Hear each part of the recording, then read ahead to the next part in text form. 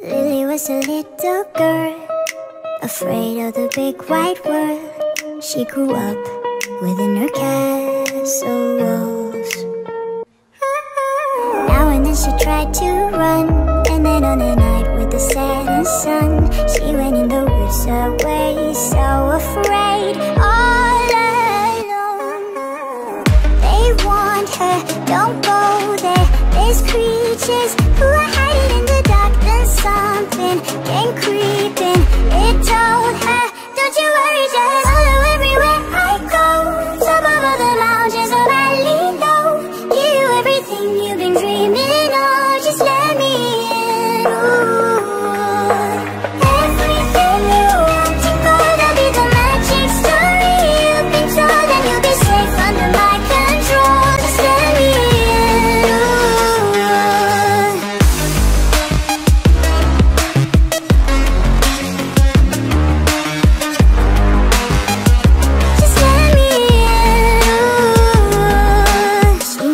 was hypnotized and walking on cold thin ice.